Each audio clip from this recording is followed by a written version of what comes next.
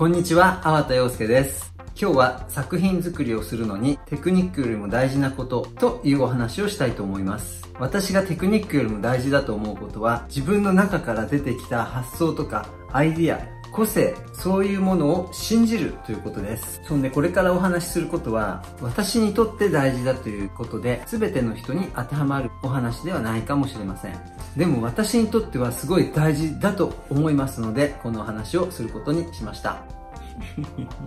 個性的な作品は見ていてとても魅力的ですテクニックはそのアイデアや発想を表現する手段だと私は思っています作品の評価を受けるときは良い評価ばかりではなく悪い評価ダメ出しをされることもあります。技術力テクニックについてのダメ出しだったらもっとテクニックを磨こうとか得意なテクニックとか苦手なテクニックのバランスとかを考えてなんかどうにかしようっていう対策もあると思いますがもしそのダメ出しが自分の中から出てきたその発想だったりとか考えだったりとかそうした場合って自分の個性自体を否定されたのと同じことになると思います。そんなダメ出しをされて改善方法があるとしたら自己否定をするしかないかもしれないですね。自分の個性を否定して自分ではない誰かのためだけに作った作品そんな作品が仮に人から良い評価を受けたとしても自分自身が辛いだけです。きっとその辛さっていうのはあの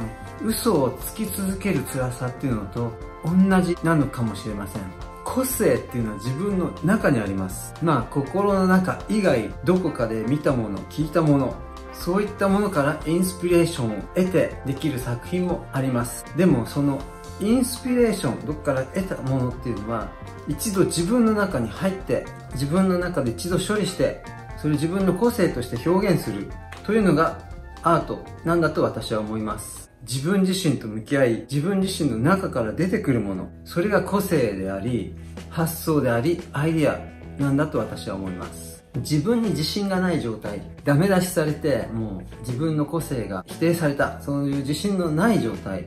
そんな状態では迷いが生じます。迷いが生じるとズバッとね作品を作品にそれを表現することができなくて作っても作ってもやり直し一向に完成しないなんてことすらあります。で出来上がってもこれでいいのかなって思ったり作ってる間もこれでいいのかこれでいいのかってねキリがないんですよね。自分を疑ってる状態って感じなんですかね。これでいいのかなって何を気にしてたかっていうと誰かもわからない他人の評価。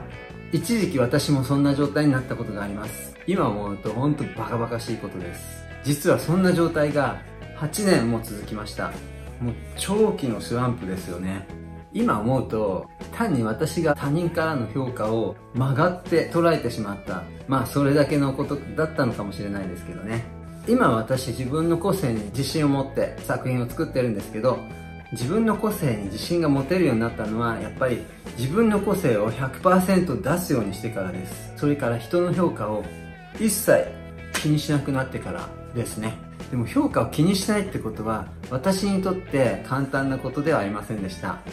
展示をすると時にはもうほんとひどいこと言われることもあります。でもそのために気にしない。それはその人の意見に過ぎない。そんなこと言われたって自分の個性っていうのは素晴らしいものだ。そう自分に言い聞かせるようにしました。そうしてるうちに人の言うことなんか全然気にならなくなりました。なので自分自身の個性を信じるってことはテクニックよりももっともっと基礎にあって私はそれが大事だと思います。でテクニックよりも大事と言いましたけど別にテクニックが大事じゃないって言ってるわけではありません。ただテクニックっていうのは教えることもできるし教わることもできます。でも自分の持ってる個性っていうものは誰にも教えることができませんし誰に教えることもできません。なんか他人にできることがあるとしたらその人の持つ個性それをその人に信じるように導いてあげることぐらいだと思います。でもそうやって導いてくれる人ってほんの一握りじゃないかと思うんですよね。運がいいことに私はその一握りの人たちに出会うことができました。なので自分を今信じることができています。本当にありがたいことだと思っています。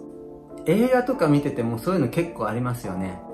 例えば80年代にベストキッドっていうアメリカ映画がありました。なんかね、ひ弱ないじめられっ子が近所に住んでる日本人に空手を教わって強くなるっていう話なんですけど、その中で、盆栽？盆栽をなんか切るシーンが出てきて、そのひ弱な少年、ダニエル君って言うんですけど、ダニエル君が盆栽を切ろうとしてる時に悩むんですよね。もしね、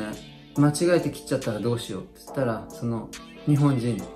ミスター宮城？ミスター宮城が自分の心に映る、見えるものを見える通りに切ってみなさいって言うんですね。で、ダニエルが考えてそのビジョンが見えるんですね。で、見えた通りに切れって言われても、ダニエル君は、もし自分の中で見えたものが間違えてたらどうするんだって言うんですね。その時ミスター宮城が、自分の中に見えたものに間違いはないって言うんですよ。そんでダニエル君が切った盆栽がちゃんとかっこいいのが出来上がったってシーンだったんですけど、すごいちょっと共感して感動しました。そうなんです。自分の中から出てきたものに間違いなんてないんです。自分の中にあるその答え、それこそがアートなんじゃないかなって私は思います。まあ、アートとは何かとか、芸術とは何かっていろんな答えが、いろんな方が言うことあると思うんですけど、それもきっと、あの、その人たちの心の中から出た別々の答えだと思うので、どの答えも私は正しいと思っています。で、芸術とは何か、私にとって？そんなことはどうでもいいと思っています。というかね、考えないようにしています。なんでかっていうと、あんまり考えるとね、またスランプになっちゃいますから、ただ言えるのが、私にとってアートは競うこと、争うことではないですね。勝ちとか負けとか、アートにそういう勝敗とかってないと思ってますし、正しいとか間違えてるとかっていうのもないと思っています。こっちの作品がいいとか、こっちの作品の方がいいとかっていうのは、個人的にその作品が好きか嫌いかっていうこともしくは好きでも嫌いでもない作品の評価っていうのはそういうことだと思っています。なんかそれって人の価値とかっていうのと似てる気がします。同じなのかもしれないですね。価値がない人間なんていないと思います。いやいません。価値があるとかないっていうのは誰にとって価値があるかとかないとかどんなシチュエーションの時に価値があるかないかとかまあそういったことで誰かにとって価値がなくても他の誰かにとっては価値がある。だから価値があるんですよ。価値のない人間なんていないんです。人間の価値についてお話をしようと思ったわけじゃないんですけどなんか言っちゃいました。もし自分の作品がどんなにけなされたとしてもまた自分自身がどんなにけなされたとしても自分自身の個性だけは信じる。自分の存在自体は信じる。それってとっても大事なことだと私は思っています。というわけで、今日はテクニックよりも大事なことというお話でした。最後までご視聴いただきありがとうございます。また次回お目にかかりましょう。さようなら。最後までご覧いただきありがとうございます。この動画が面白かったという方は動画作りの励みになりますので、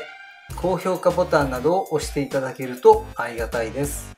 今後も動画を投稿していきますので、ぜひチャンネル登録の方もよろしくお願いいたします。